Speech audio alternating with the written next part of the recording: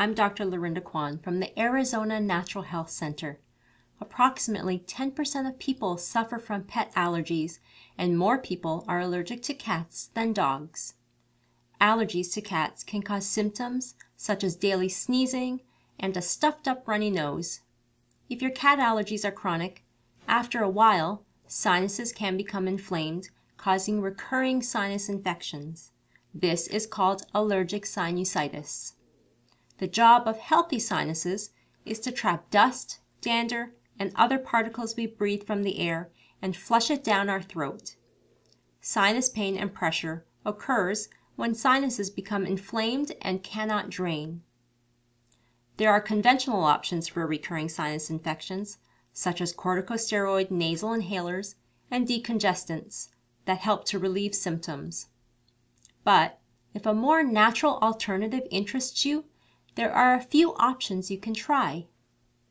Neti pots are small teapot-shaped vessels that have been used in India for thousands of years to flush the sinuses and keep them clear. This simple technique helps to flush out the dander you've inhaled and thin the mucus causing sinus congestion. Netis and other nasal rinse products are inexpensive and can be found easily at health food stores and even local drugstores are carrying them now. For allergic sinusitis, use your neti pot about twice a day, especially if you've been playing with a cat or petting one. Next, keep mucous membranes moist by keeping well hydrated and use a cool mist humidifier to keep inside air humid. Dry sinuses mean less drainage. And as an added bonus, Add a few drops of essential oils, such as eucalyptus, to your humidifier to help open up nasal passages. Homeopathy is a safe and natural treatment that is capable of reducing both the cat allergies and recurring sinus infections. A homeopathic medicine is chosen based on your individual symptoms. This often provides quick relief of allergic and sinus symptoms and without the unwanted side effects. If you're having symptoms of allergic sinusitis now, try one of these homeopathic remedies found at your health food store. Choose the best one to fit your symptoms. For example, you may need Hepar sulf for ongoing sinus infections with thick and yellow nasal discharge. Sinus headaches have a bursting pain that feels better applying hard pressure.